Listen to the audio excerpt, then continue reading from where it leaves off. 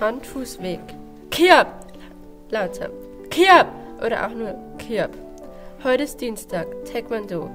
Eine von zwei Stunden in der Woche, in der ich mich mal wieder so richtig auspowern kann.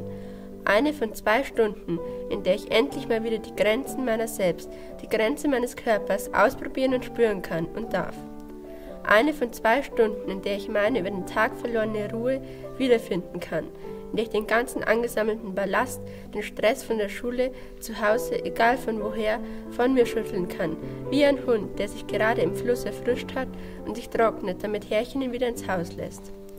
Eine von zwei Stunden der Woche, eine von acht Stunden im Monat, eine von ach so vielen Stunden im Jahr. Ich weiß nicht, wie viele Stunden ich schon durchgemacht habe, nicht wie viele ich habe ausfallen lassen, nur dass ich es schon sehr lange mache. Ich weiß nicht, wie oft ich mich gedrückt habe, nicht wie oft ich unbedingt darauf bestanden habe, zum Taekwondo zu gehen, nur dass ich tat, was ich tat, um das zu tun, was mir gerade am liebsten war. Aber ich weiß, dass ich mich nach jeder noch so erschöpfenden Stunde wohlgefühlt habe und ich stolz auf etwas war, auf mich. Ich kenne viele Leute, die mal anfingen, aufgehört haben. Ich kenne aber auch viele Leute, die anfingen, dabei blieben. Ich habe mittlerweile herausgefunden, dass es mehr als nur ein Taekwondo geben muss. Ich habe vernommen, dass es sehr wohl einen Unterschied gibt zwischen demselben und dem gleichen.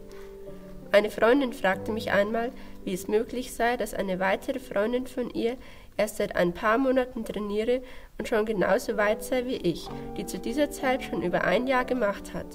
Ich, erfahrungslos, antwortete, dass es darauf ankommt, wie gut man sei.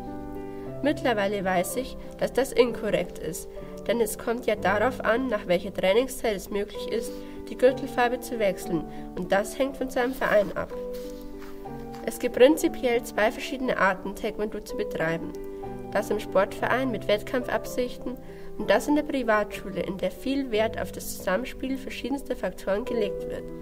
Somit darf man eine klare Linie, eine feste Grenze ziehen zwischen dem traditionellen Taekwondo und dem anderen. Es ist ein Unterschied, ob man als Fußballer jeden Sonntag ein wichtiges Match austrägt oder nur in der Freizeit den Garten und Mamas heißgeliebte Blattbegonien unsicher macht. Nicht umsonst ist Taekwondo Teil der Olympischen Spiele geworden. Ich persönlich bevorzuge Traditionelles, für das auf alle wichtigen Bereiche des physischen, psychischen und spirituellen Ichs Rücksicht nimmt. Das bekanntere andere ist das, was viele veranlasst, das Handtuch zu werfen, weil es ihnen irgendwann zu öde wird, sich immer nur wieder zu wünschen, mal wieder auf dem Siegerpodest stehen zu dürfen. Aber traditionelles Taekwondo ist weit mehr. Es trainiert die Merkfähigkeit, erfordert Konzentration und fördert die Motorik, denn es ist nicht immer so einfach, das Gesagte richtig in die Tat umzusetzen. Es benötigt Kraft, um die Bewegungsabläufe professionell ausziehen zu lassen, nicht nur um Holzbretter mit der bloßen Haut durchschlagen zu können. Es braucht einen gewissen Teamgeist, wenn es zum Beispiel heißt, eine Serie von vielen verschiedenen Bewegungen synchron zu laufen.